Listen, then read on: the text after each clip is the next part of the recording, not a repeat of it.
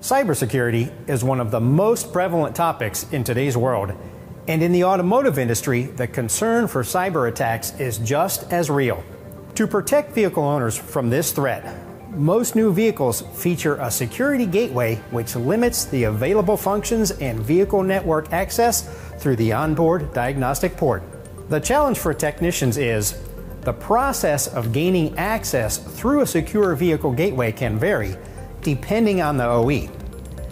In some cases, a technician profile with a unique code is required, which provides the OE verification of the individual users who are requesting access to their vehicle systems.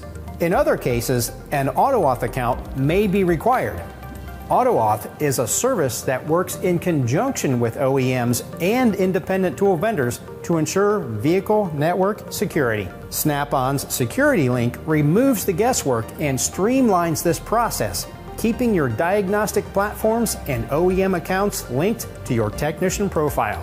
The Snap on Apollo Plus, along with these other diagnostic scan tools from Snap on, are all equipped with the Security Link feature. Setup is quick and easy.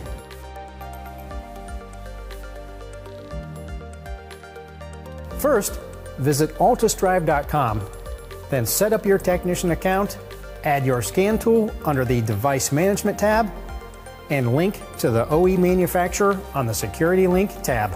If AutoAuth is required, you will see it noted here by the OE manufacturer on the Security Link tab. When an AutoAuth account is required, Visit AutoAuth.com to sign up, purchase the subscriptions and plan you need, then simply register your scan tool and you'll gain access through the security gateway for these OEs.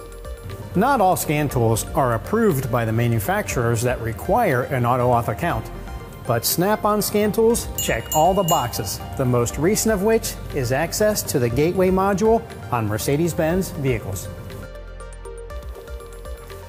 Snap-on Security Link provides diagnostic platform owners a uniform method to access secured vehicle systems, allowing technicians to perform OEM secured functions with ease. And it's included with the current software on Snap-on Scan Tools. For more information, visit snapon.com/security link.